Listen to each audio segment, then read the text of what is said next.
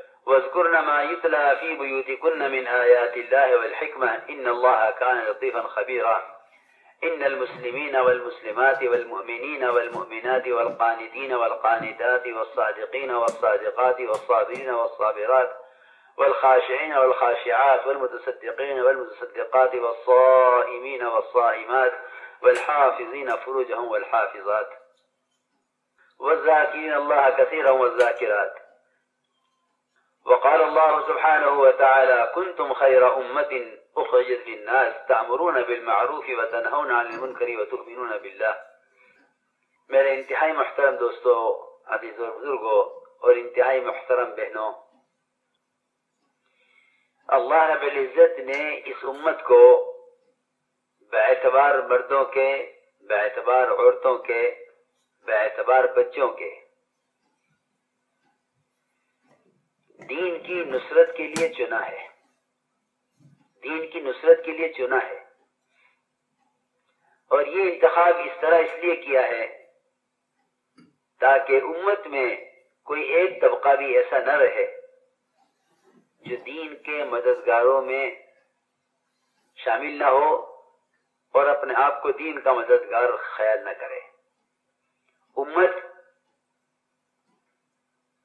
इन तीनों तबकात पर, उम्मत का लफ्ज, इन तीनों तबकात पर लागू होता है। मर्द, औरत और बच्चा। अगर इन तीनों तबकात में से कोई एक तबका भी अमाल दावत पर और दावत इल्लाह पर कायम नहीं है तो घर में बातिल के दाखिल होने का वही ज़रिया बनेगा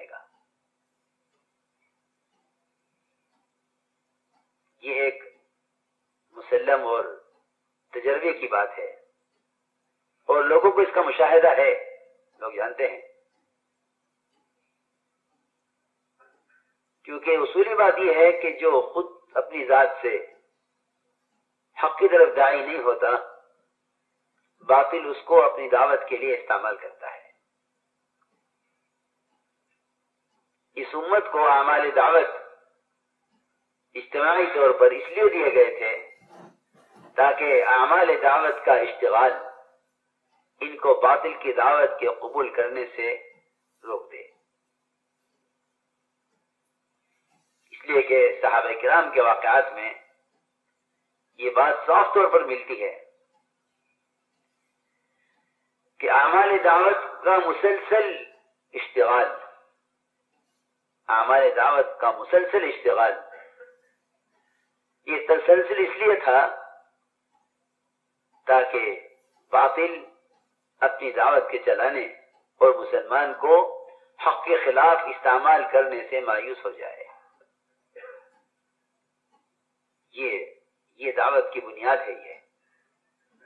अमाल दावत सिर्फ़ दीन सीखने की हद तक नहीं है। अमाल दावत बातिल से बचने की ढाल है। हम समझते थे? जब तक ये उम्मत के तीनों तबके इन अमाल पर मुजतमा नहीं होंगे, उस वक्त तक ये घर में बादल को आने से रोक नहीं सकते। ये अमाल दावत बातिल से बचने की ढाल है। इसलिए ये बात सराहतन मिलती है। ये बात सराहतन मिलती है। सहाबा की सीरत में कि आमाल दावत का तसलसल और आमाल दावत का इस्तेमाल ये ये बातिल को या तो मजबूर करेगा, हिदायत के रास्ते पर आने में या रास्ते से हटा देगा। काबिल मालिक रज़ी अल्लाह का सिर्फ़ एक मौके पर सिर्फ़ एक मौके पर अल्लाह के रास्ते में न निकलना इसने गस्सान बादशाह को इस बात पर आमदा किया कि इन्हें अपनी तरफ़ आने की दावत दे मैं अर्ज़ करना चाहता था कि इन बातों को समझने के लिए हर काम करने वाले के लिए ज़रूरी है कि वो मौलाना साहब के बयान को गौर से पढ़ा करे, ताकि औरतों के और मर्दों के और बच्चों के इन अमाल दावत पर मुश्तमा होने का बुनियादी सबब मालूम हो कि इसका इसका मकसद क्या है। ये बातिल से हिफाजत का, ये अमाल बातिल से हिफाजत का किला है। ये अमाल बातिल से हिफाजत का किला है। ये ख्याल करना कि जो ज़िम्मेदारी, जो काम, जो कारनामे और दावत में जो तकाजे मर्द पूरा कर सकते हैं, ये औरतों की सतह नहीं है। ये ख्याल बिल्कुल गलत और बातिल ख्याल है। जिस तरह औरतों को उम्मत होने के रिश्ते से नहीं काटा जा सकता, इस तरह उम औरतों को दावत अल्लाह की ज़िम्मेदारी की सतह से नीचे नहीं समझा जा सकता। ये असल में जो कहना चाहता हूँ। इस तरह औरत को उम्मत होने के रिश्ते से नहीं काटा जा सकता उम्मत का लफ्ज औरत मर्द बच्चे तीनों पर लागू होता है। इसी तरह औरत को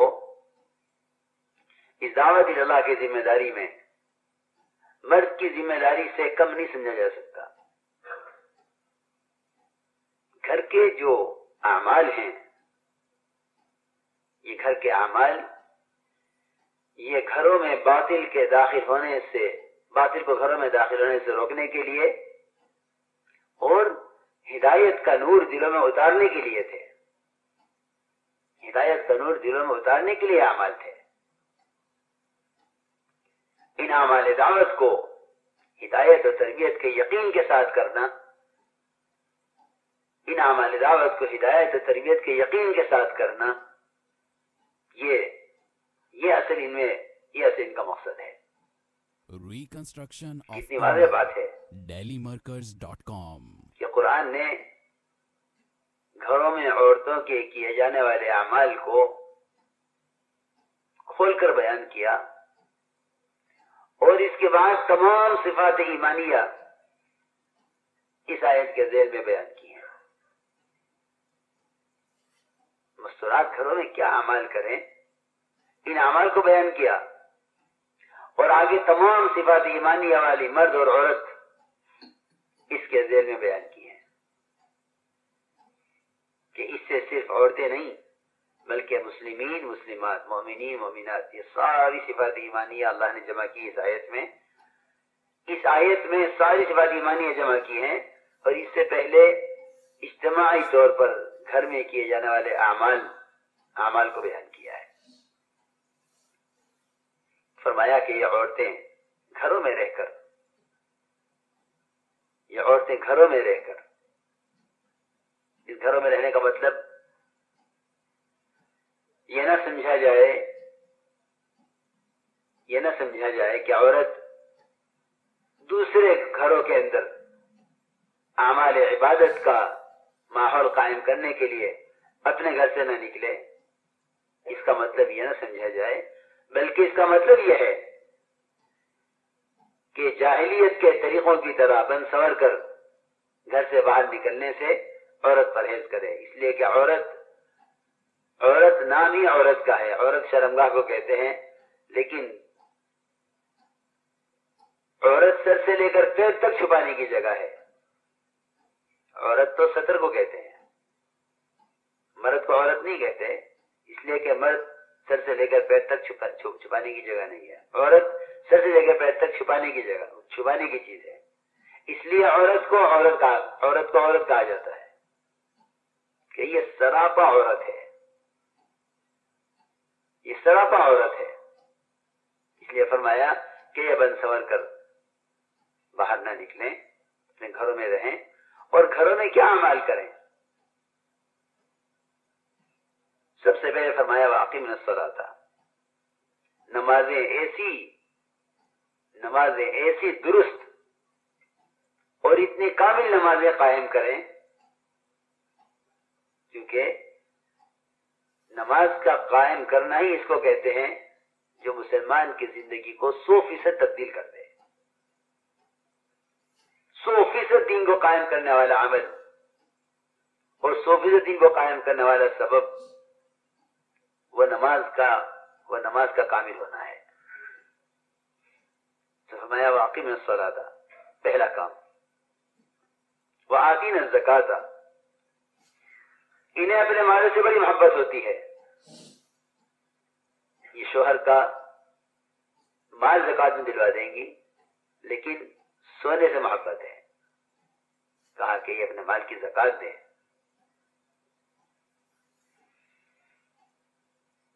औरतों के जज्बात ये हुआ करते थे कि हजूर अक्रम सल्लल्लाहु अलैहि वसल्लम ने मुल्क से बाहर जमातों के भेजने का इरादा फरमाया तो औरतों ने अपने सर से लेकर पैर तक अपने जेवरात को उतार कर आपके सामने ढेर लगा दिया। आपको, आपने उम्मत को सिखलाया था कि उम्मत के माल का सबसे बड़ा मसरफ अल्लाह के दीन का दुनिया में कायम होना है। और गौर भी किया गया। तो यही मिला। तो अनफिकूफी सबील्ला वला तुलको बेदी को मेरा तालुका कि अल्लाह के रास्ते में, अल्लाह के रास्ते की नकल हरकत में, अल्लाह के रास्ते की नकल हरकत में माल खर्च करने में कमी मत करो, वरना अपने हाथों अपने आप को हलाकत में डाल दोगे। ये आयत नाजिल उस वक्त हुई थी जब अंसार मदीना ने सिर्फ़ छह महीना मदीना मनोरा में रहना तय किया था। उस वक्त आयत नाजिल हुई थी। इसमें समझाया गया था कि इस उम्मत के माल का सबसे पहला मसरफ, वो अल्लाह के रास्ते की नकल हरकत है। तो मैं आज कर रहा था कि ये दूसरी सिमत बयान की, दूसरा दूसरा दूसरा हुक्म दिया। वहाँ ने जक़ाता। और अल्लाह अल्लाह के रसूल की इताअत करें।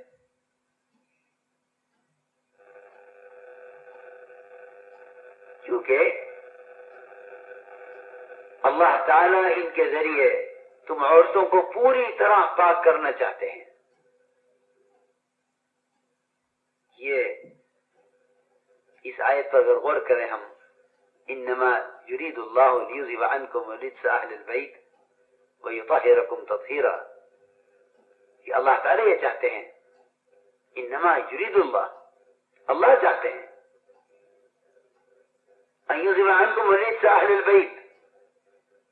कि एक घरों में रहने वालियों, अल्लाह चाहते हैं कि तुम्हें पूरी तरह हर गंदगी से, हर गुनाह से, हर शिरक से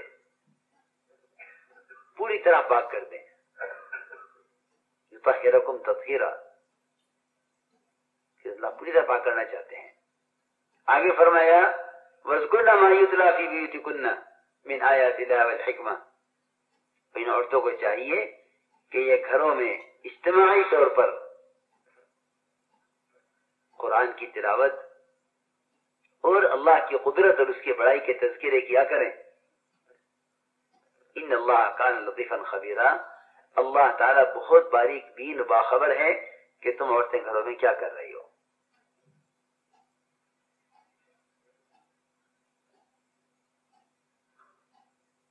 बुनियादी बात यह है कि इस जमाने में ये घर के जो अमाल हैं, इनके बारे में एक बहुत महदूद सोच और तबलीगी जमात तबलीगी जमात में भी समझा जाता है कि एक छोटा सा शोबा है मस्तूरात के काम का।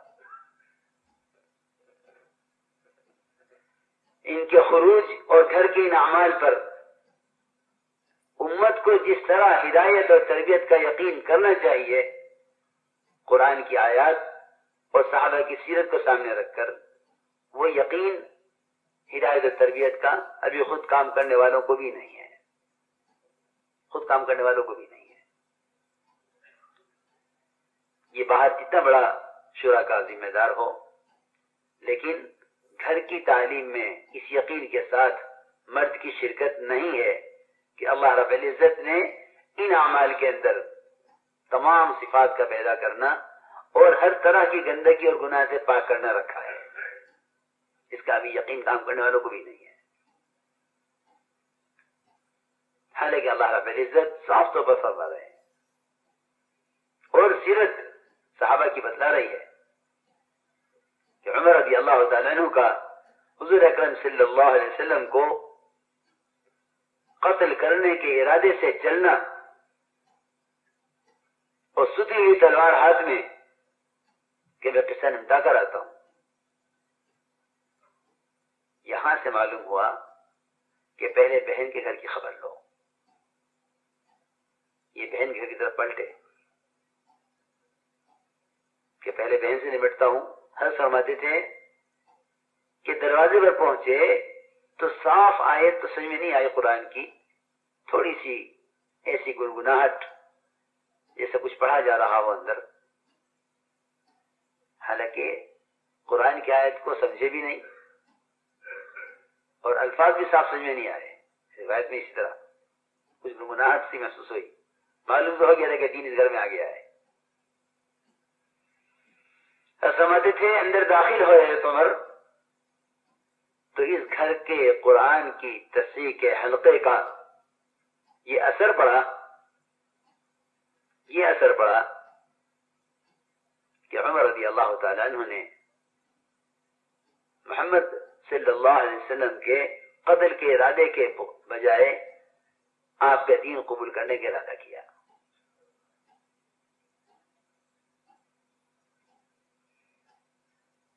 पूछा, क्या कर रही थी? हम ये पढ़ रहे थे। एक अंदर का गुस्सा तो उतरा।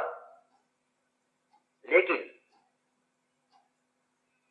उमर अली के जज्बात और उनकी शिद्दत, ये सारी शिद्दत और ये गलत जज्बा ऐसा तब्दील हुआ इस इस्तकामत में कि जो नुकसान इस्लाम गैतमत की वफात से हुआ है, वो नुकसान किसी से नहीं हुआ। और जो दरार इस्लाम के किले महतमत की वफात से पड़ी है, वो किसी से नहीं। ये है। रिवायतों में अशद फ़ी उमर। कि अल्लाह के दीन के बारे में उमर सबसे ज़्यादा मज़बूत और सख्त है। लेकिन अगर हम हज़रत उमर के इस्लाम के सबब की तरफ़ जाएँ, कि आखिर सब हिदायत क्या हुआ? यूँ तो आम से आम आदमी आपके दीन से नफरत करता था। लेकिन उमर की शिद्दत और सख्ती। अल्लाह ने इस सारी जिद को इस्तकामत में तब्दील किया। सबब क्या हुआ? कि सबब घर में कुरान की तस्वीर का हल्का यह उमर की हिदायत का असल सबब बना है। हिजरत से पहले का अमल है। बाद मरतबा साथ इस पर कि भाई, ये क्या ज़रूरी है? इसकी क्या ज़रूरत है? हालाँकि कुरान खोल कर कह रहा है मा युतला फ़ी तो ये अमल अमल दावत है, इसलिए दिए गए हैं। औरत को अल्लाह इज़्ज़त ने जो इस्तेदाद और कुवत दी है इसकी सलाहियत का अगर इस्तेमाल, इसकी सलाहियत का इस्तेमाल अगर ये आमाल दावत पर न हुआ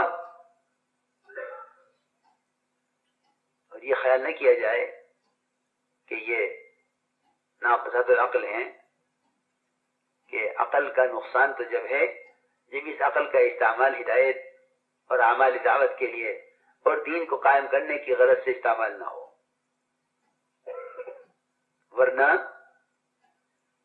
फतेह मक्का फतेह मक्का जो फतेह इस्लाम है।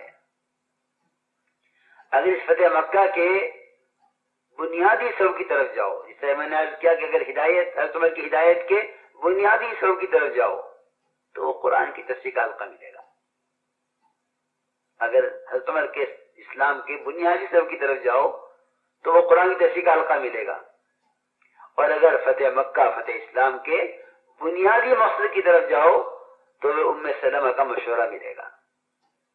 मेरी बात वो तो चाहती है। तो क्या मिलेगा? उम्म सलमा का मशवरा मिलेगा। कि मैं परेशान हूँ, क्या करूँ? अल्लाह का हुक्म है कि वापस जाओ और सर मुंडाओ अहराम खोलो और उम्र की करो। वापस जाओ। लेकिन मेरे साहबा अपने एक जज्बे में हैं कि हमें उम्र करना है। मैं क्या करूँ? उम्र सलमा ने आपको मशवरा दिया कि आपको इनसे कुछ कहने की ज़रूरत नहीं है। आप अपना सर मुड़ा लीजिए। आप अपना सर मुड़ा लीजिए। ये सब के सब आपको देखकर वो करेंगे जो आप करेंगे। आपने उमर सलमा के कहने पर यही किया। सहाबा ने जो सर मुड़ाने को तैयार नहीं थे, अपने सर, खुद अपने अपने हाथों से सर, अपने सर के बाल मुंडे इनके सरों से खून बह रहे थे। वो नबी को एक अमल करते हुए देखे, खुद ना करे, ऐसा नहीं हो सकता। लेकिन गौर किया जाए तो इसने बड़े जज्बे को हुक्म पर कुर्बान करने का जो बुनियादी सबब बना है वो मिसलाम का मशवरा है। और ये हदेबिया ही असल फतेह मक्का है। साहबा खुद फरमाते हैं कि तुम लोग कहते हो कि फतेह मक्का मक्के पर हमला करना है। हम जानते हैं कि फतेह मक्का वो हदेबिया है। तो मैंने मैं अर्ज़ कर रहा हूँ कि ये ख्याल न किया जाए कि ये कुछ प्रोग्राम है तबलीग वालों के जो ये कर हर घर में कायम करना चाहते हैं? नहीं। इस काम को प्रोग्राम समझना और हिदायत का जबता समझना। इसका फ़र्क सिर्फ़ यही है कि अगर इन अमाल को जमाने के एतबार से समझकर किए जाए तो ये प्रोग्राम है। और अगर इन अमाल को अमाल हिदायत और अमाल नबूत और अमाल सहाबा यकीन करके किया जाए तो ये हिदायत का जबता है। तो हिदायत का जबता है। प्रोग्राम नहीं है। तो हिदायत का जबता है। सहाबियात ने आपसे तलब किया कि, या रसूलुल्लाह, ये मर्द आपके पास आते हैं, मस्जिद में आते हैं, बात सुनते हैं, आपकी हदीसें याद करते हैं। हमें हमें को मौका होना चाहिए। आप वसल्लम ने हफ़्ते का एक दिन मुतन कर दिया। कि हफ़्ते में एक दिन औरतें जमा हो जाया करें और आप उनमें बात फरमाएँ। आप तालीम क्यों? हर घर के अंदर आमाल दावत कायम करने के लिए है। अफसर तालीम हर घर में हमारे दावत कायम करने के लिए है। आयशा रज़ी अल्लाह तहा ने घर की तालीम से वो हासिल किया है कि किबार साहबा मुश्किल मसाइल में हज़रत से रजू करते थे। अल्लाह खैर दे इस जमाने में उलमाए हक को। इन औरतों को इस पुरफिदन जमाने में, जबकि एक मुसलमान औरत का जज्बा भी यह हो, एक मुसलमान औरत का जज्बा भी यह हो कि वो दुनिया के फनून और जहालत में अव्वल नंबर आकर दिखलाए। इस इस गंदे जज्बे के के जमाने में इन औरतों में इल्म का शौक और जोक पैदा कर देना, ये मैं समझता हूँ कि ये हक की, का इखलास और उनको उम्मत उम्मत की औरतों को इल्म की मुतवजह करना ये हक का इखलास और इनकी खिदमत का नतीजा है वरना औरत का ये जज्बा गंदा जज्बा है इंतहाई गंदा जज्बा है कि वो दुनिया के दुनिया को आगे बढ़ाने और दुनिया को तरक्की देने के लिए मर्द के शाना बशाना चले ये औरत की हया औरत की फितरत और औरत का जो एक घरेलू निज़ाम है, इस सब के बिल्कुल खिलाफ है। अल्लाह ने इसके अंदर ये सलाहियत रखी ही नहीं है। अल्लाह ने इसमें ये सलाहियत रखी ही नहीं है। हाँ अगर ये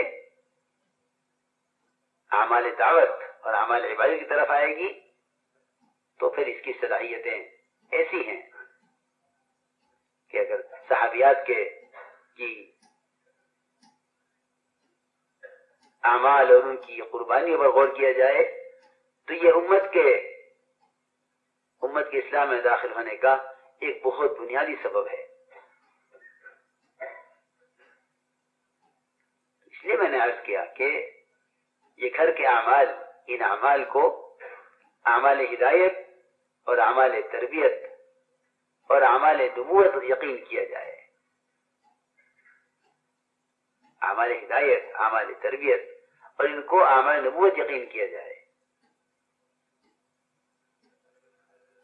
घरों में वाला, और इनका खरूज इनका खरूज तो इसलिए ज़रूरी है ताकि हर घर का 24 घंटे का निज़ाम, दावत और इबादत पर, ज़िक्र ज़िक्र तिलावत पर आए।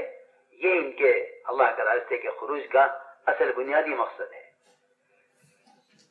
अपनी मस्तूरात को लेकर निकलना इस गरज के लिए है ताकि हर घर का 24 घंटे का निज़ाम दावत इबादत ज़िक्र तिलावत पर आए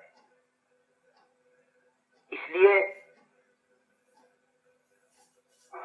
अपनी मस्तूरात को अल्लाह के रास्ते में निकलने की तरगीब दी जाए लेकिन एक शख्स तरगीब देता है। पड़ोस में हादसा हो गया है। हमारा फरीजा बनता है कि हम ताजिद के लिए जाए। फला पड़ोस में एक खुशी हो गई है। पड़ोसी का हक है कि हम इनकी खुशी में शिरकत करें मुबारकबाद देकर आए। ये जितने भी नकल हरकत के इसबाब हैं, ये एक अखलाकी तकाजा है। लेकिन सौ फ़ीसद दीन सौ फ़ीसद उम्मत में ज़िंदा हो। ये तकाजा सबसे अहम तकाजा है। हजूर अकरम सल्लल्लाहु अलैहि वसल्लम उम्म हराम बिनते मिल्हान के घर में आराम फरमा रहे थे। मुस्कुराते हुए उठे। उम्म हराम ने पूछा, कि आप क्यों मुस्कुराए? फरमाया कि उम्म हराम मुझे एक जमात दिखलाई गई है ख्वाब में, जो कश्तियों में सवार होकर फला मुल्क में अल्लाह के दीन को पहुँचाने के लिए सफ़र करेगी। और वो कश्तियों में ऐसे बैठे हुए होंगे जैसे बादशाह अपने तख्तों पर इत्मीनान से बैठे हुए होते हैं। मेहरान ने अर्ज़ किया कि मुझे भी जमात में शामिल कर दिए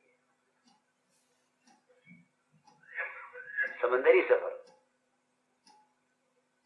इंतहाई खतरनाक सफ़र, आप इसमें इसमें, आप मुझे इसमें शामिल कर दीजिए। फरमाया मैं हराम तुम इसी जमात में हो। फिर आप सोए, दोबारा मुस्कुराते हुए उठे, फिर पूछा उम्मे हराम ने अब क्या बात है? क्यों मुस्कुराया आप? मैं हराम? मुझे एक जमात और दिखलाई गई है।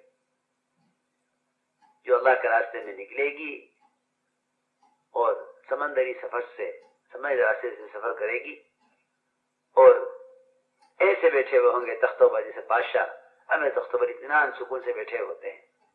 उम्मे हराम ने अर्ज़ किया, दूसरी जमात भी मेरा नाम लिख दीजिए। दूसरी जमात भी शामिल कर आपने फरमाया उम्मे हराम या तुम पहली जमात में निकल कर फला मुल्क में वफात पा चुकोगी तो दूसरी जमात में कैसे शामिल हो जाओगी। पहली जमात में निकलोगी, उस मुल्क में जाओगी, वहाँ तुम्हारी वफात होगी, वहाँ तुम्हारी तदफीन होगी। तुम तो दूसरी बात में कैसे हो सकती हो? इसी भी औरतें होती होंगी। इस औरत को बदला दिया गया है कि तू फला मुल्क में जाकर मरेगी। वो जाने के लिए तैयार है। इन घरों के अंदर ईमान के हलकों से वो ईमान की कुवत थी। वो ईमान की कुवत थी कि औरतें घर में पेश आने वाले हवादिसात को मर्दों से छुपाती थी। अब औरतों के ईमान का हाल यह है कि मर्दों को हवादिसात औरतों से छुपाने पड़ते हैं। भाई कौन बताएगा औरतों को? भाई कौन बताएगा औरतों को? किस तरह समझाएँगे। कि वो फला बीमार हो गया था, बीमारी बढ़ गई थी। एक दिन तो ये खबर, अगले दिन ये खबर कि सीरियस है, अगले दिन ये खबर कि इंतकाल हो गया। औरतें हैं, कैसे संभालेंगी? क्यों? वो अमल कहाँ है? जिन अमल के यकीन पर मैं औरत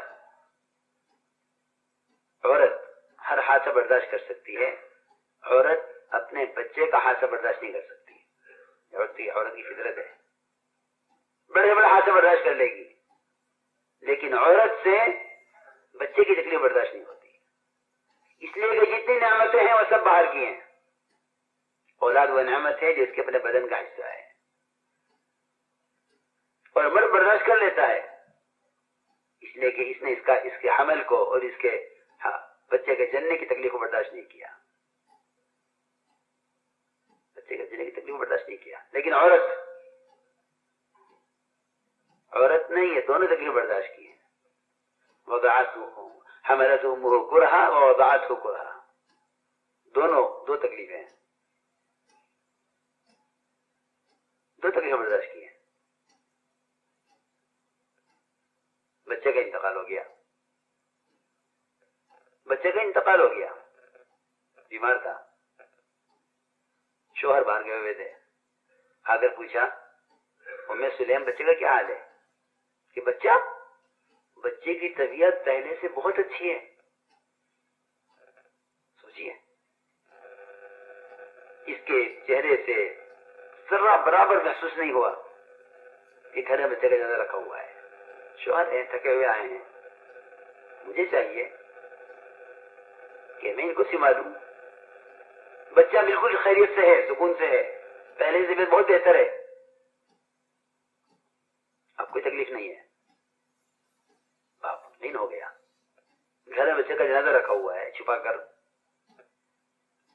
रिवायत में है कि इस औरत ने उस दिन जितना अच्छा अपना, अपने हसन जमाल का और अपने बनाव सिगार का, जितना बेहतर से बेहतर इंतज़ाम कर सकती थी, इसने वो किया। अच्छे से अच्छे कपड़े पहने। शोहर के लिए खाना तैयार किया। पहले खाना खिलाया। ऐसा ना हाथ की खबर से खाना छोड़ दे, पहले खाना खिलाया। फिर ख्याल आया कि शोहर को मुझसे मिलने की ख्वाहिश होगी। शोहर से मुलाकात की। और ऐसी मुलाकात की कि ऐसी मुलाकात जिससे इस बच्चे के घर से निकलने से पहले दूसरे बच्चे की बुनियादी पड़ गई। देखिए औरत? शोहर स्वागत कर रहा। घर में ज़्यादा रखा हुआ।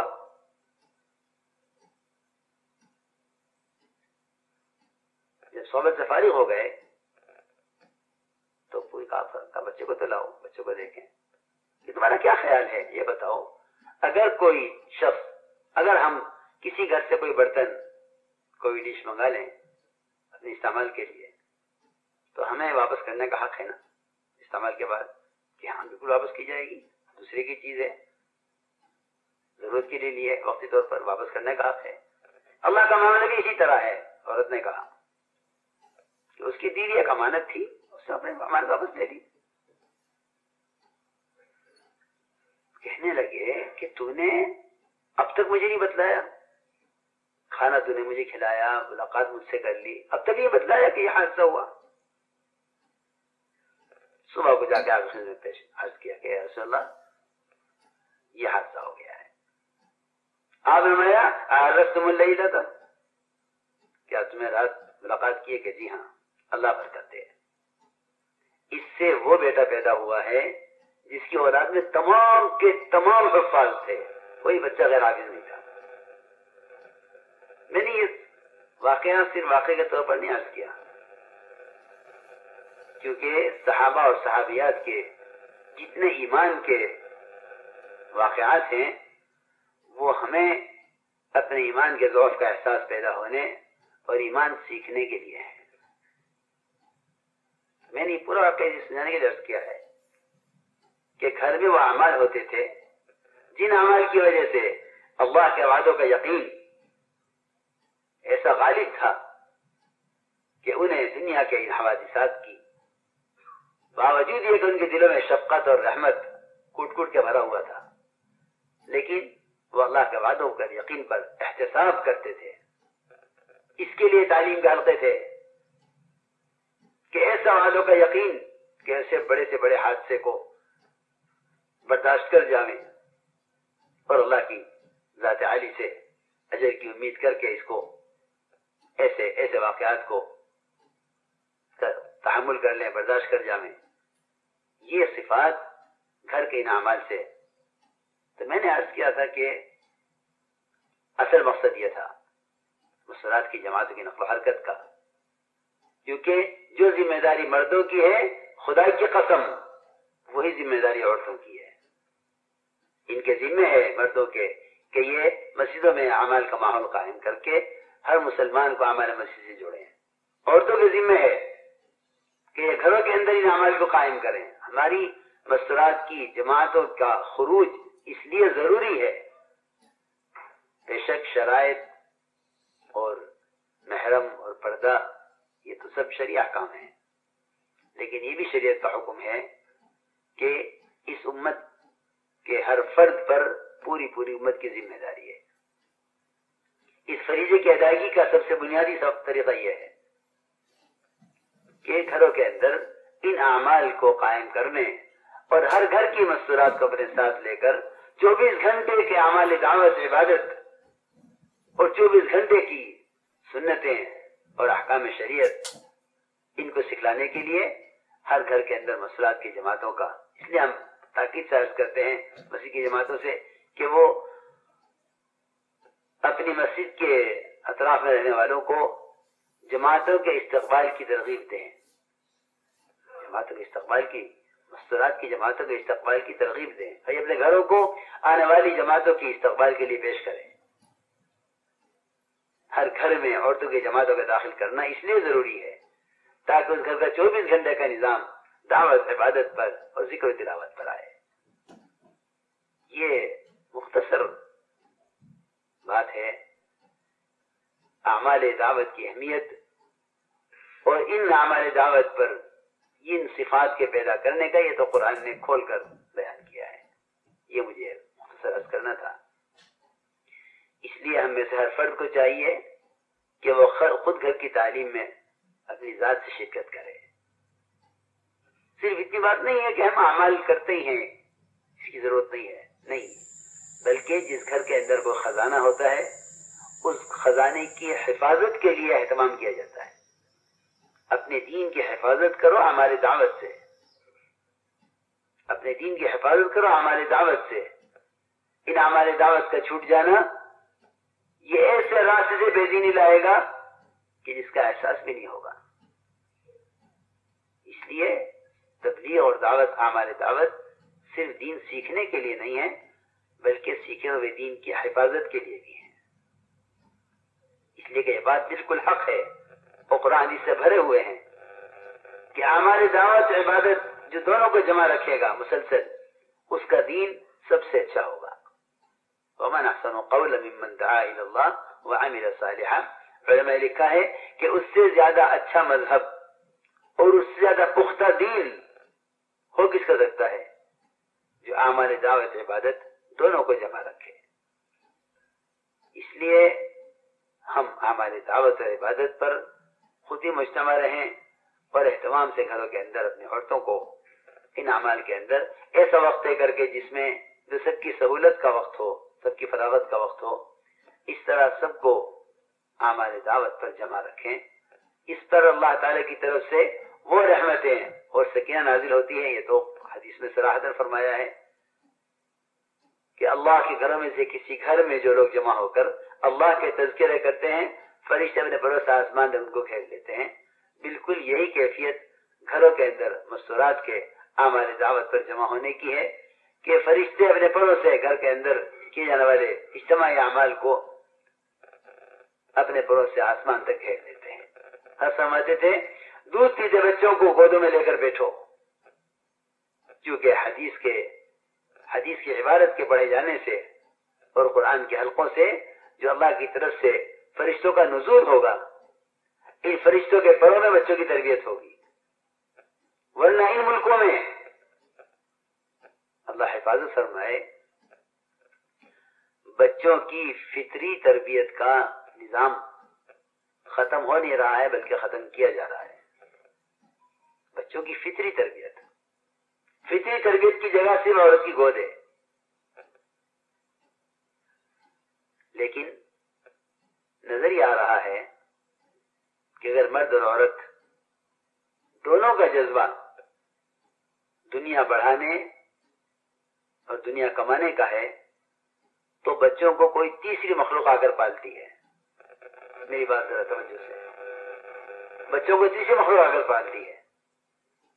वो है वो खदामा और घर के अंदर मुलाजिमा जो बच्चों को पाले और ये मियाँ बीवी रोज़ाना सुबह निकल जाए।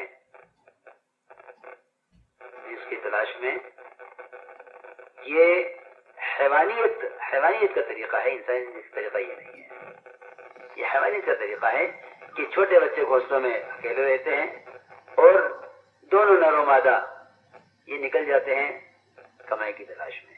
ये जानवरों का निज़ाम है। हैवानियत है, इंसानियत नहीं है। अल्लाह ने कमाने की ज़िम्मेदारी मर्दों को दी है।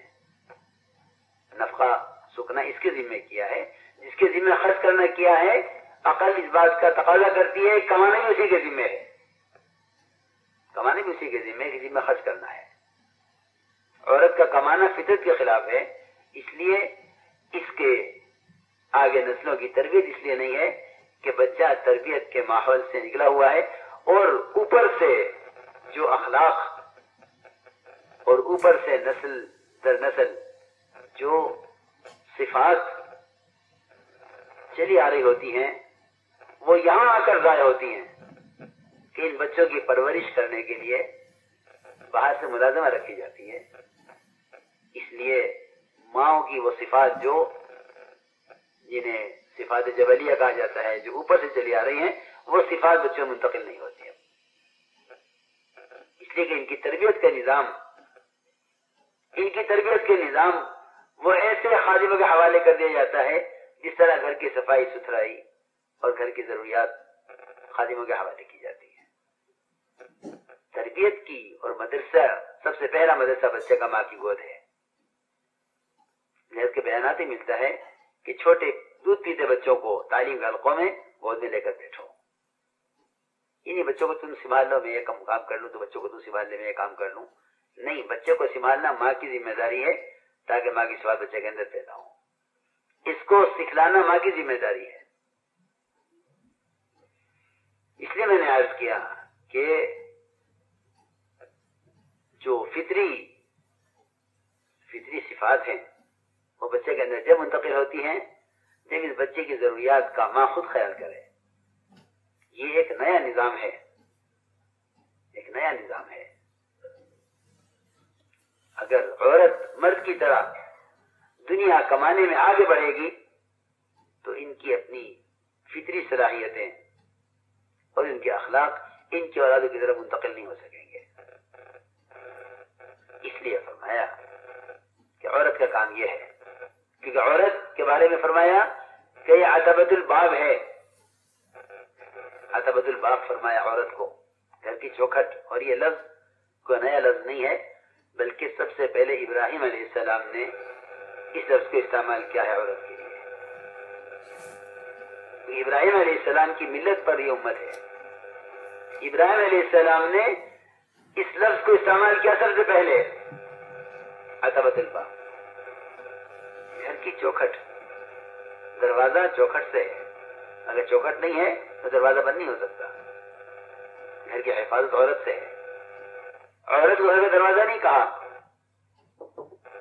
बल्कि घर की चौखट कहा है। और उस घर को, उस चौखट को बाकी रखने का हुक्म दिया है। उस औरत को बाकी रखने का हुक्म दिया है, जो औरत शुक्र गुजार होती है। थोड़ा सा वक्त मिला इब्राहिम सलाम को। एक तश्किल से वापस आए। एक तश्किल से वापस आए और घर पर पहुँचे। बेटा घर पर नहीं था। दो मरतबा आमद हुई। दोनों मरतबा घर पे बच्चा नहीं था। खरूज का और नकल हरकत का ऐसा मिजाज बनाया गया था कि लंबी तश्किल से वापसी हुई इब्राहिम सलाम की, इस्माइल इस्लाम घर पर नहीं थे। पूछा भी, बहू से पूछा कि इस्माइल कहा? बहू ने कहा कि, बहू ने कहा कि वो शिकार पर गए हुए पूछा कि तुम्हारा इस घर में रहन सहन कैसा है? जरूरियात का क्या हाल है? तो शिकायत की कि बड़ी तंगी में रखा हुआ है, बड़ी परेशानी है, जरूरियात पूरी नहीं होती। तो फरमाया, बहू से फरमाया, बेटे की बीवी से, कि वो आएगा, इस्माइल, उससे कह देना, अपने घर की चौखट को बदल दे। चौखट अच्छी नहीं है। क्या मालूम क्या क्या मतलब है? इस्माइल आए। पूछा, कोई आया था कि हाँ ऐसे ऐसे बड़े में शक्ल के आए थे। कि हाँ मेरे वालिद थे कुछ कह गए हैं कि हाँ कुछ कह गए हैं। क्या कहा? कि कह गए थे कि घर की चौखट बदल दो। क्यों? हाल पूछा था कि हाँ मैंने बतलाया था कि ये परेशानियाँ हैं। फरमाया कि वो मुझे हुक्म देगा तुम्हें तलाक देने का। उसी वक्त तलाक दे दी। बीवी को अलग कर दिया और चले गए। इब्राहिम से रवाना हो गए। फिर आए एक के बाद। फिर पूछा बीवी दूसरी आ गई घर में बहुत दूसरी आ गई। पूछा कि क्या हाल है? क्या अलहमदुल्ला हर हाल में अल्लाह का शुक्र है।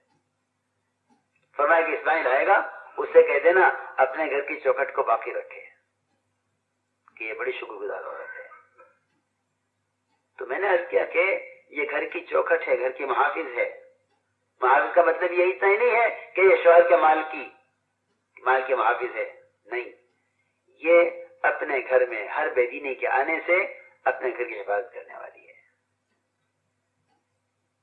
इसलिए इसका अहतमाम करें और हमारी मसरात को चाहिए कि शराय के साथ और पर्दे के साथ और महरम के साथ और जितनी शरी हदूद हैं, इन तमाम हदूद के लिहाज करते हुए इस जमाने में, इस वक्त ऐसे हालात उम्मत के हैं कि इन मस्तूरात का खरूज इंतहाई ज़रूरी और अहमियत रखता है।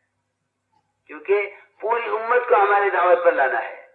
हर घर के अंदर ही हमारे दावत कायम करने हैं। हर घर में हमारे दावत कायम करने हैं। इसलिए उसूली बात है और बार बार अर्ज़ की जाती है कि दो से रोजा मर्दों के साथ, दो से रोजा मर्दों के साथ, तीसरे से रोजा मस्तूरात के साथ तीसरे से रोजा मसूरात के साथ, ये तरतीब मस्तूरात के खरूज की है। दो से रोजा मर्दों के साथ, मर्दों की जमात के साथ, तीसरे महीने से रोजा मस्तूरात की जमात के साथ। अगर हमें खुद फ़िक्र है कि हर घर में हमारी दावत कायम हो तो हमारे दावत को कायम करने की वजह से खरूज का तकाजा होगा। मेरी आखिरी बात यह है कि तबलीग और दावत की नकल हरकत सिर्फ़ दीन सीखने के लिए नहीं है। बल्कि उम्मत को अल्लाह के फराइज पर लाने और उम्मत को दीन पर कायम करने की मेहनत है। मालियासा का महफूज है कि तबलीग में लगकर कल में नमाज़ का दुरुस्त हो जाना, ये ऐसा है जैसा अली बाधा का सीख लेना ऐसा मुसाद छिपा हुआ है। इसलिए इस मसूरात के खरूज और नकल हरकत को इस वक्त की सबसे ज़्यादा ज़रूरी और अहम चीज़ समझा जाए शैतान ये वसवसा पैदा करेगा कि ये कोई ज़रूरी नहीं है और इसकी कोई अहमियत नहीं है। और अपनी अपनी औरतों को खुद दीन सिखलाओ। बेशक बेशक हमें चाहिए अपनी औरतों को दीन सिखलाना। लेकिन जिस तरह मर्दों पर मर्दों की ज़िम्मेदारी है, इस तरह औरतों पर औरतों की ज़िम्मेदारी है। खुद तुम खैर उम्मतिन उखनास तामुल मुनकर, इस आयत का मिजदाक सिर्फ़ मर्द नहीं है। इसलिए कोई ताकत नहीं है, जो औरतों को उम्मत होने के दायरे से निकाल दे कोई ताकत नहीं है। उम्मत का लफ्ज, औरत, मर्द, बच्चा, सब पर शामिल है। इसलिए अर्ज़ किया जाता है कि साल में दो मरतबा कम से कम चिल्ला अशरा और जहाँ मस्तूरात से रोजा लगाई हुई कम है, नया काम है, वहाँ मस्तूरात को भी साल में दो मरतबा इनको जोड़कर मुल्कों के तकादीन के सामने रखे जाएँ। मुल्कों के तकादीन के सामने रखे जाएँ। और मुल्कों के लिए मस्तूरात की जमातों की नकद तश्कीलें इस शशमाही इज्तमा में मस्तूरात की की जाए। हल्के की सजा पर, ज़िले की सजा पर जिस तरह भी मुमकिन हो, जिस समझ में ज़्यादा ना हो, इस तरह मस्तूरात को उनके मर्दों के साथ साल में दो मरतबा जमा करके उनकी नकद तश्कीलें मुल्कों के तकाजों के लिए और नए मस्तूरात को का वक्त लगवाने के लिए जहाँ जहाँ काम का माहौल है, इसका इसका एहतमाम किया जाए। इसका एहतमाम किया जाए। करेंगे इंशाल्लाह अल्लाह ताला कबूल फरमाए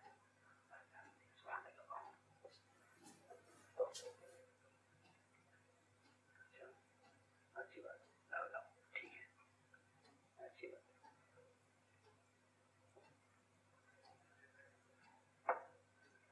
मस्तूरात की तरफ़ से बैत का मुतालबा आया है।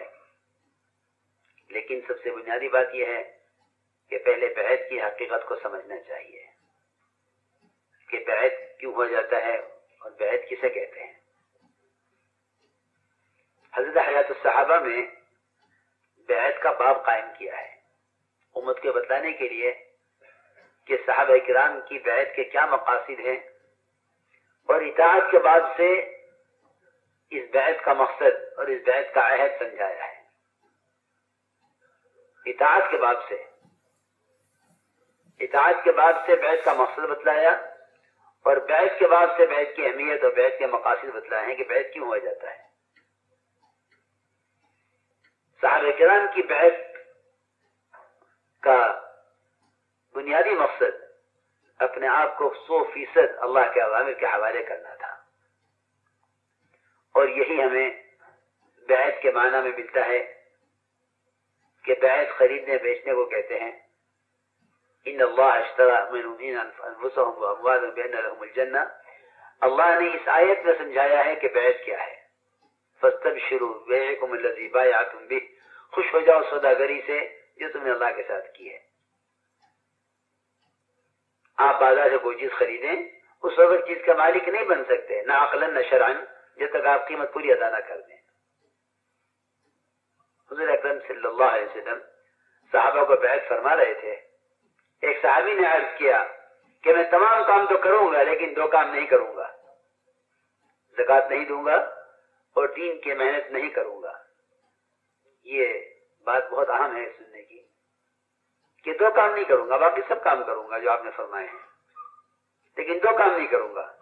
जक़ात नहीं दूँगा और दिन की मेहनत नहीं करूँगा। हजूर अक्रम ने फरमाया कि जब तुम जक़ात नहीं दोगे और दीन की मेहनत नहीं करोगे तभी मैं तदखुल जन्ना तो जन्नत में दाखिल कैसे हो जाओगे? ये सवाल इस बात को समझाने के लिए है कि जन्नत का मुस्तक और जन्नत का हकदार बनने के लिए ये दोनों फरीजे बराबर हैं। जक़ात का फरीजा और दीन को दुनिया में कायम करने की मेहनत का फरीजा ये बहुत बहुत गौर करने की बात है जो मैं आज कर रहा हूँ। आपने बैठ करने हाथ खींच लिया तो मैं बैठ नहीं करेंगे. जब तक तुम इन दोनों कामों के करने का अहद न करो। ये नहीं फरमाया कि जिहाद तो ज़रूरी नहीं है जक़ात ज़रूरी है। माल का माल का, माल की जक़ात का फरीजा है, बल्कि आपने हाथ खींच लिया बैठ करने से। साहबी ने जब देखा कि आप बैठ नहीं फरमा रहे तो आप साहबी ने अर्ज़ किया कि आप मुझे बैठ फरमाइए, मैं ये दोनों काम भी करूँगा। इससे मालूम हो गया, जो अहमियत जक़ात की फर्जियत की है, वही अहमियत दावत और इस उम्मत की जिम्मे दीन की मेहनत की भी है। आगे जो आयतों में बैठ के मकासद में अल्लाह के दीन के लिए अपने वतनों का छोड़ना, अल्लाह के दीन की नुसरत करना, अल्लाह के दीन के बारे में किसी की मलामत की परवाह न करना, हर हाल में सुनना और मानना, दिल चाहे या न चाहे, तंगी हो या फराखी हो। और इस पर भी साहबा ने बैठ की थी, आखिरी लफ्ज है बैठ का, कि आपने सभी साहबा से अहद लिया है कि मेरे पास दूसरों को तुमसे आगे बढ़ाया जाएगा, तुम काम से पीछे नहीं हटोगे। साहबा से इस पर भी अहद लिया गया है। इसलिए साहब कराम खुद फरमाते हैं नहनदीन मोहम्मदा जिहादी माँ बकीना अबदा, कि हमने मौत तक दीन की मेहनत करने पर आपसे अहद किया है। ये साहब इकराम की बैत के मकासद हैं और साहबा जिसका अहद करते उसको पूरा किया करते थे। यही वजह है। यही वजह है कि साहब इकराम ने हर अहद को पूरा करके दिखलाया है। अल्लाह ने तारीफ़ की है, कुरान साहबा की। फरमाया रिजाल के साहबा मर्द मैदान है, जिन्हें अल्लाह ताला के अहद को सच करके दिखलाया पूरा करके दिखलाया। जिस चीज़ का साहब इकराम अहद कर लिया करते थे, उसको पूरा किया करते थे। हज़रत सोबान रज़ी अल्लाह ने इस बात का अहद किया था किसी से कोई चीज़ नहीं मांगेंगे, उनका कोड़ा भी गिर जाया करता था सवारी से तो नीचे उतर के खुद उठाते थे किसी से मांगते नहीं थे। इसलिए हमारी मस्तूरात इसको इसका भी अहद करें कि इंशाला हम इस तमाम के साथ अपने घरों के अंदर कुरान की तालीम का और आने वाली मस्तूरात को दीन की तरफ़ तवज्जो करने का अहतमाम करेंगे। ये हमारा बुनियादी काम है। सहेलियों से, अपने मुतालिकात से, अपनी पड़ोसनों से, बजाय दुनिया की बातें करने और गिबतें करने के, हमें चाहिए कि जो भी शक्ल मुलाकात की हो हम उन मुलाकातों में इन आखिर की तरफ और इन्हें दावत की तरफ मुतवजह करें करेंगे इंशाल्लाह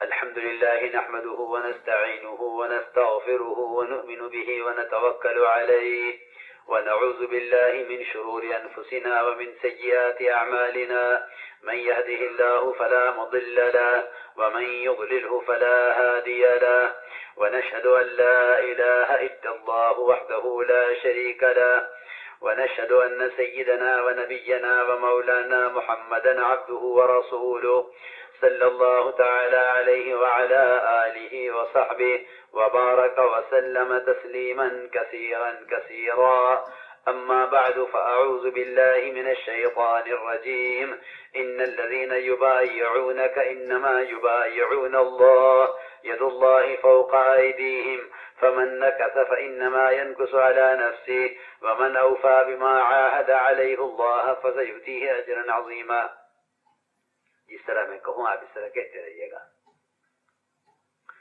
ला इलाहा इल्लल्लाह मुहम्मदुर रसूलुल्लाह कोई इबादत किए जाने के लायक नहीं सिवाय अल्लाह के कोई जी लगाए जाने के लायक नहीं सिवाय अल्लाह के मोहम्मद वसल्लम अल्लाह के बंदे और उसके रसूल हैं। ईमान लाए हम अल्लाह पर, उसके फरिश्तों पर, और उसकी किताबों पर, और उसके रसूलों पर, और आखिरत के दिन पर, और तकदीर पर, जो कुछ भला है या बुरा सब अल्लाह की तरफ़ से है। और ईमान लाए हम, मरने के बाद दोबारा ज़िंदा किए जाने पर, तोबा की हमने शिरक से, कुफ्र से, बिदात से, पराया माल नाहक खाने से नाहक के खून से, झूठ से, सूद से गीबत से, जिना से, चोरी से, बुहतान से और तोबा की हमने। अल्लाह के रास्ते की नकल हरकत में कमी करने से और तोबा की हमने। दीन सीखने में सुस्ती करने से और तोबा की हमने। हर छोटे बड़े गुनाह से ए अल्लाह, तोबा हमारी कबूल फरमा। आहद में हमें मज़बूत फरमा। दावत के काम के लिए हमें कबूल फरमा। बेहद की हमने हज़रत मौलाना मोहम्मद इलियास रहमतुल्लाहि अलैह के सिलसिले में साथ के वास्ते से ये बड़े बड़े गुनाह हैं जो कबायर कहलाते हैं। इनसे अपने आप को हर मुमकिन बचाना है। और गुनाहों से बचने के लिए सबसे बुनियादी सबब और बुनियादी बुनियादी ज़रिया वह नवाफिल का अहतमाम है। आजकल आमतौर से लोग नवाफिल को हल्का समझकर छोड़ देते हैं। या ये भी ख्याल पैदा हो गया है कि नवाफिल तो बड़े बूढ़े लोग पढ़ते हैं जो दुनिया के कामों से फारिग हो जाते हैं। ये ख्याल गलत ख्याल है। बल्कि नवाफिल की कसरत अल्लाह रबुल्ज़त के ऐसे कुर्ब का ज़रिया है, जिससे बंदे के आजा का इस्तेमाल अल्लाह की चाहत पर आ जाता है, हदीस कुदसी का खुलासा है। इसलिए चाहिए कि तहजद का और इशराक चाश्त और अवाबीन का खासतौर पर एहतमाम करें। तहजद ये तो सबसे ज़्यादा नफ्स को कुचलने वाला अमल है। और नवाफिल की कसरत ये अल्लाह के कुर्ब का बड़ा ज़रिया है। इसलिए हमारी मर्दों को मसरात को चाहिए कि ये घरों के अंदर नवाफिल का खासतौर पर एहतमाम करें। दूसरा सबब नज़र की हिफाजत है। इस जमाने में वो आलात और इसबाब और हर तरफ़ फहश इतना फैल गया है कि नज़र का बचाना सबसे बड़ा मुजाहिदा है। जो अपनी नज़र को हराम से नहीं फेरेगा, जो अपनी नज़र को हराम से नहीं फेरेगा, वो कभी इबादत की हलावत महसूस नहीं कर सकता। इबादत की हलावत और लज्जत उसको महसूस होती है। ये हदीस का मफहूम ऐसा कर रहा कि जो अपनी नज़र को हराम से फेर देता है। इसलिए कि जो नज़र हराम को देखेगी, वह नमाज़ में अल्लाह को देखने की कोशिश नहीं कर सकती। यही सिफत एहसान का खुलासा है। इसलिए नज़र की बहुत हिफाजत करें। तीसरा सबब, बुनियादी सबब, वो अल्लाह का ज़िक्र है।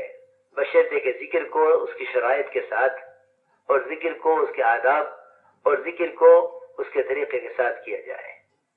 मौना इलिया साहब का खत का हाथ के लिखा हुआ मेरे पास मौजूद है। हज़रत ने मेरे साथी को लिखा कि अल्लाह के ध्यान के बगैर ज़िक्र करना ऐसी बेअदबी है जिससे दिलों में सुस्ती और गफलत पैदा होती है। इसलिए ज़िक्र में अल्लाह का ध्यान जमाने की पूरी कोशिश करें। काम करते करते ज़िक्र कर लिया, मस्तूरात का मिजाज है। कि कुछ काम करते करते ज़िक्र कर लिया। मर्दों का हाल है कि दुकान पर खड़े खड़े ज़िक्र कर लिया, तस्वीरी करनी है। एक तेरी ज़ुबान अल्लाह के ज़िक्र से तर रहे, ये दुनिया के सारे कामों को करते हुए। लेकिन अपने दिल को गफलत से पाक करना और इताद की इस्तादात पैदा करने के लिए कुछ वक्त और कोई मकदार ज़िक्र की वो है जिसमें अल्लाह के गैर से पूरी तरह कटना चाहिए। तमाम हाजतों से, तमाम जरूरियात से, तमाम तकाजों से अपने आप को पूरी तरह मुनकता करके अल्लाह का ज़िक्र किया जाए कि ज़िक्र तबत्तुल चाहता है, ताकि से फरमाया, वजकुर रब का वतबत्तल ही तब्तीला। अल्लाह को याद करो, पूरी तरह उसके गैर से कटकर इसलिए ज़िक्र बावजू किया जाए, तन्हाई में किया जाए, और अल्लाह के ध्यान के साथ ज़िक्र किया जाए। ज़िक्र में दिल को, ज़ुबान को दिल के ताबे करें ईसा इस्लाम फरमाते थे जब ज़िक्र किया करो तो ज़ुबान को दिल के ताबे किया करो। इस तरह हमें ज़िक्र का इस्तेमाल करना है। इसमें एक कर, एक तस्वीर तीसरे कलमे की सुबहान अल्लाह अकबर वला एक तस्वीर शरीफ की इस्तिगफार की तीन तीन सुबह शाम तस्बीहात तमाम से पढ़ें। आप में से जो लोग हज़रत जी मौलाना नाम साहब रहमत से बैठ हैं ज़िक्र लिए हुए हैं वही नजकार का अहतमाम करते रहे। जो आज बैठ हुए हैं, इनको चाहिए। इन तीन तस्वीर के अलावा दस तस्वीर अल्लाह अल्लाह का ज़िक्र कर लिया करें। इस तरह के अव्वल, आखिर ग्यारह ग्यारह मरतबा तो शरीफ पढ़ें और दस तस्वीर लफ्ज अल्लाह अल्लाह का ज़िक्र कर लिया करें। अफजल ज़िक्र कुरान की तिलावत है। रोज़ाना कुरान की तिलावत को अपना मामूल बना लें। और मैं ये भी अर्ज़ करूँगा साथ में कि कुरान को कुरान नहीं देकर पढ़ने का अहतमाम किया जाए। ये मोबाइल में कुरान का पढ़ना मोबाइल में कुरान का रखना, ये जर्फ कुरान के काबिल नहीं है। ये जर्फ कुरान के काबिल नहीं है। इस बारे में झगड़ना, बहस करना, इससे कोई फ़ायदा नहीं है। बल्कि इसका बेहतरीन जवाब यह है कि सरफ सालहीन का, खुलाफा राशिदीन का तरीका कुरान पढ़ने में क्या रहा है। ये मत कहो कि यू भी हो सकता है, यू भी हो सकता है। अगर एक मिसवाक की सुन्नत का बुरुश मुतबादिल नहीं बन सकता तो फिर कुरान की तिलावत का कुरान से हटकर मोबाइल मुतबादिल कैसे बन सकता है? थोड़ी सी अकल को इस्तेमाल करें, अपने हर अमल को सलफ सालीन के तरीकों की तरफ़ लेकर चलें।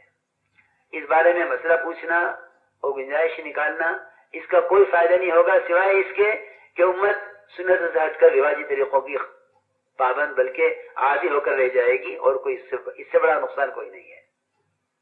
इससे बड़ा नुकसान कोई नहीं है और इसका फ़ायदा कोई नहीं है कि मसाइल में बहस करके गुंजाइशें निकाली जाए, इससे कोई फ़ायदा नहीं है। ये मैं इसलिए अर्ज़ कर रहा हूँ कि ये जो नया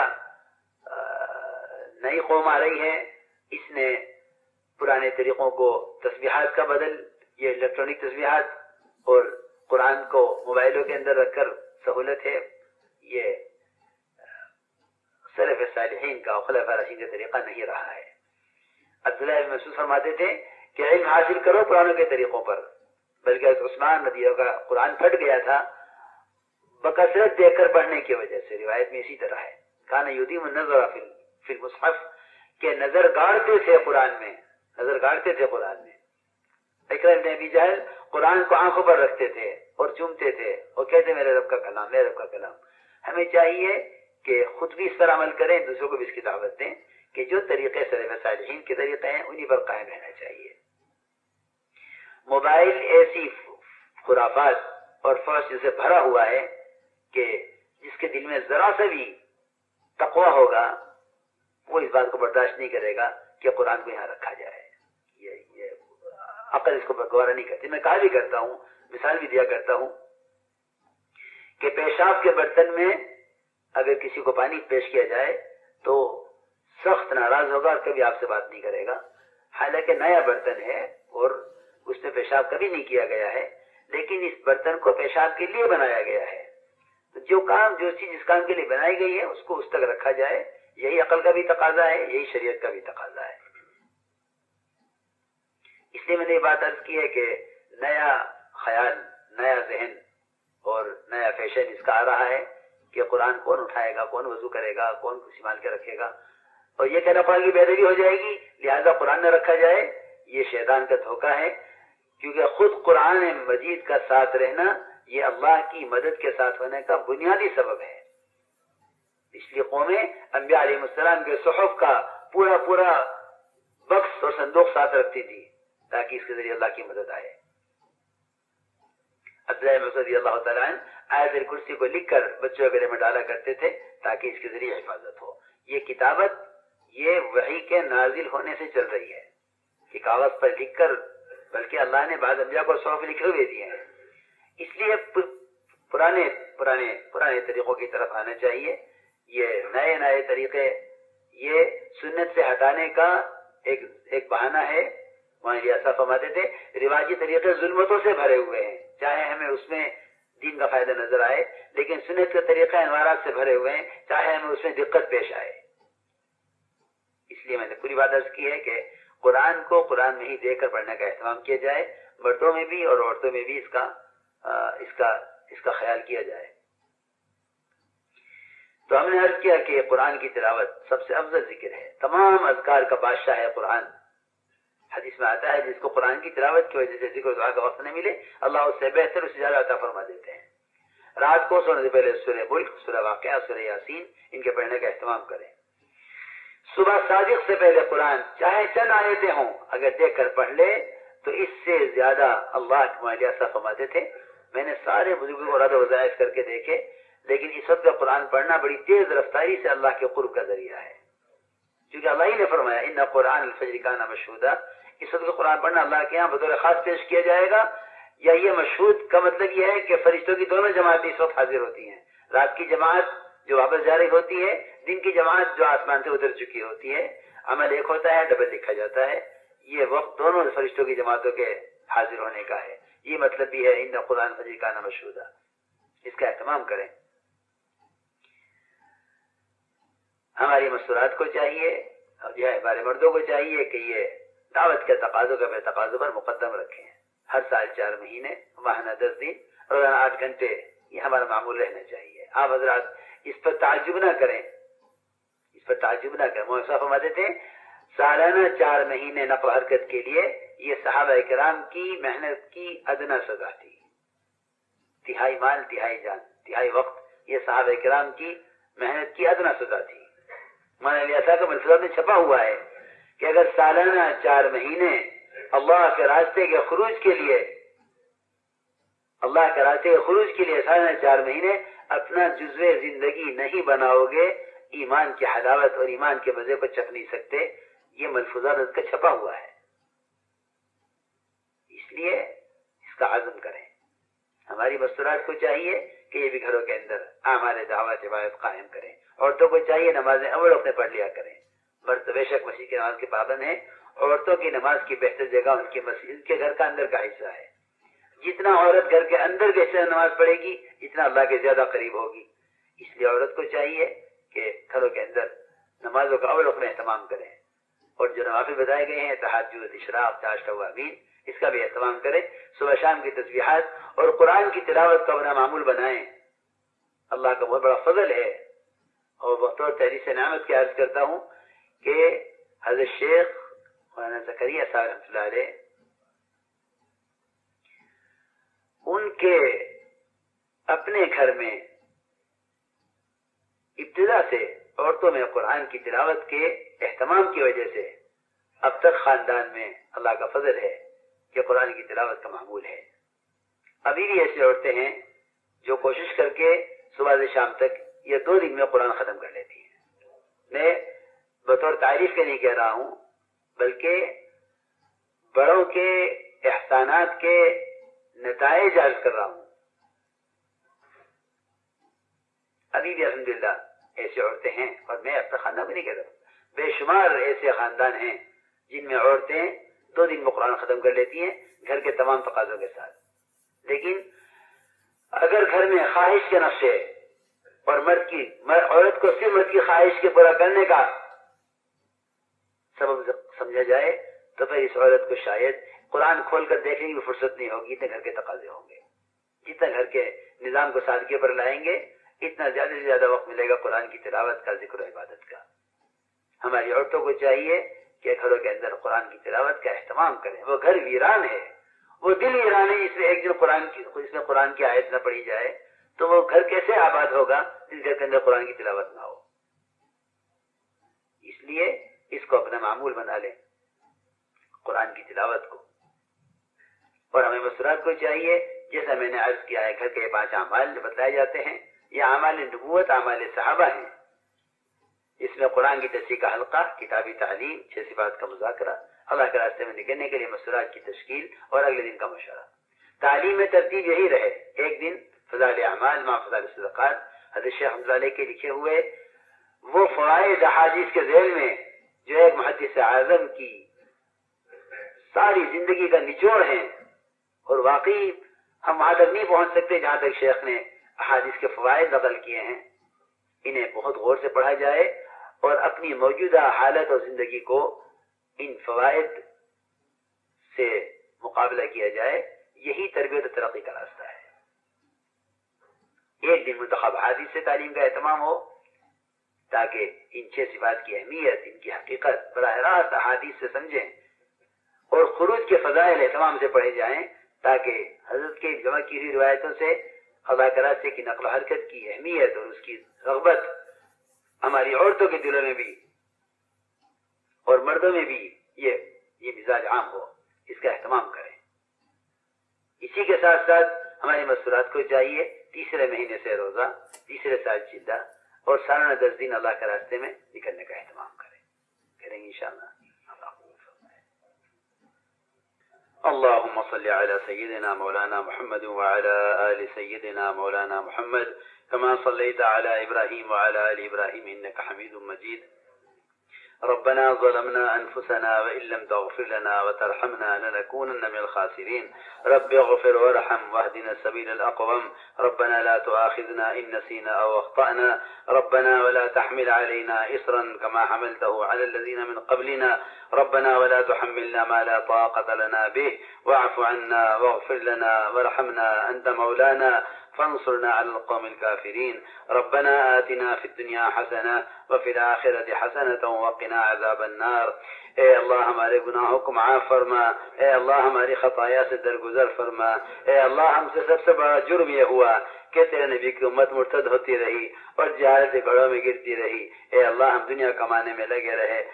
हमारे जुर्म अजीम को माफ़ फरमा दे। ए अल्लाह, हमें सहाबा की तरह और सहाबियात की तरह अपने दिन पर चलने के लिए, अपने दिन को दुनिया में कायम करने के लिए कबूल फरमा दे। या अल्लाह, एक एक फर्द उम्मत को, एक एक मर्द और औरत को अपने दिन का दाही बना दे। हमारे दिलों में, हमारी औरतों के दिलों में ए अल्लाह, दिन के मिटने का गम पैदा फरमा दे। इसके नतीजे में, या अल्लाह तो हमें दावत की नस्बत और कुर्बानी पर कायम फरमा दे। इन कुर्बानियों को कबूल फरमा कर उम्मत की हिदायत के फैसले फरमा।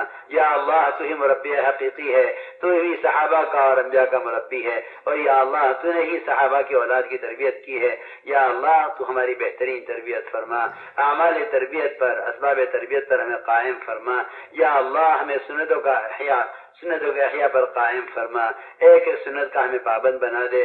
गैरों के तरीक़ों की नफरत हमारे दिलों में पैदा फरमा दे। या अल्लाह, इस मुल्क में पूरे आलम में खसूस इस इलाके में, या अल्लाह, हमें सुन्नत की अहिया के लिए कबूल फरमा ले ए अल्लाह गैरों के माशरे की नफरत हमारे दिलों में पैदा फरमा दे ए अल्लाह गैरों के माशरे की नफरत हमारे दिलों में पैदा फरमा दे ए अल्लाह उम्मत में अहिया सुन्नत की ज़िम्मेदारी का शूर पैदा फरमा या अल्लाह हमारी औरतों को हमारे बच्चों को हमारे बड़ों को और छोटों को, ए अल्लाह सबको दीन की मेहनत के लिए कबूल फरमा दे।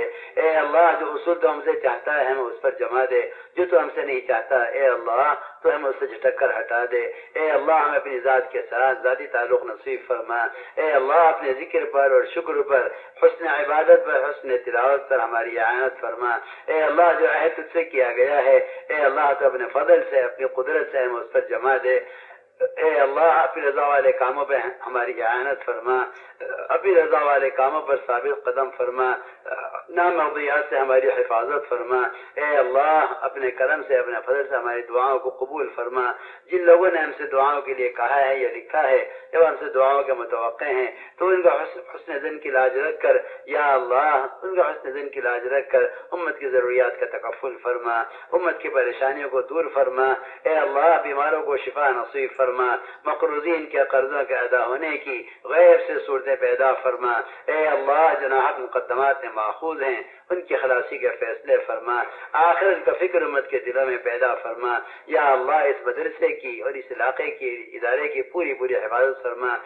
इनके मालमीन की, इनके इनके, इन, इनके मुतालिमात की और इनके इनके इनके मुतालिमात की और इनके मालिमीन की पूरी पूरी हिफाजत फरमा।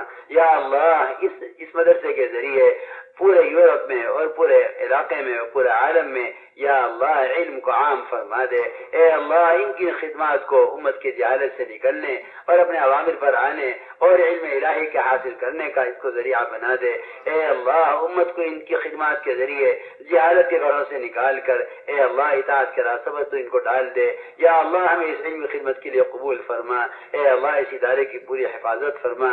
ए अल्लाह, अपने कुदरत कामिला से और अपने खजाना गैर से इनकी ज़रूरियात का तकफुल फरमा इन्हें अपने मासीवा से मुस्तनी फरमा कर ए अल्लाह इन्हें अपने मासीवा से मुस्तनी फरमा कर ए अल्लाह इन्हें अपने दिन की खिदमत के लिए कबूल फरमा कदम कदम पर नुसरत फरमा कदम कदम पर रहबरी फरमा मराशिद अमूर इल्हाम फरमा तमाम रुकावटों को दूर फरमा हर हासिद के हसद से हर बदनजर के बदनजरी से और या अल्लाह बातिल के शुरू फितन से इस इदारे की पूरी पूरी हिफाजत फरमा या अल्लाह इनके खुदाम को तो इस तरह कबूल फरमा जिस तरह तूने सहाबा को इनकी खिदमत के लिए कबूल फरमाया ए अल्लाह इनकी औरतों को इस तरह कबूल फरमा जिस तरह तूने आयशा के ज़रिए इल्म का बड़ा हिस्सा उम्मत तक पहुँचाया है या अल्लाह करम फरमा कर फजल फरमा कर हमें सबको इल्म की खिदमत के लिए कबूल फरमा ले ए अल्लाह अपने फजल से हमारी दुआओं को कबूल फरमा रब्बना तकब्बल मिन्ना इन्नका अंत समीउल अलीम व तुब अलैना इन्नका अंत तव्वाबुर रहीम बिरहमतिका या अरहमर